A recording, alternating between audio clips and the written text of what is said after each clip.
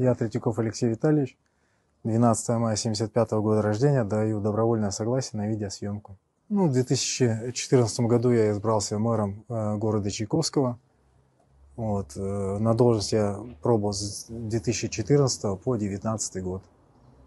До этого я также был депутатом городской думы. Но там полномочия закончились. Ну, У меня не было самой цели как бы быть в политике. А Как доброволец я заключил контракт 7 сентября с Министерством обороны. А, Приписали меня к 78-му полку 42-й мотострелковой дивизии. А, Переправили в город Лисичанск, где я проходил тренировку в течение ну, недели, чуть побольше, может быть.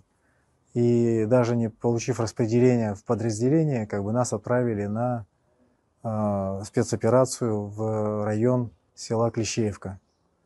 В районе села Клещеевка я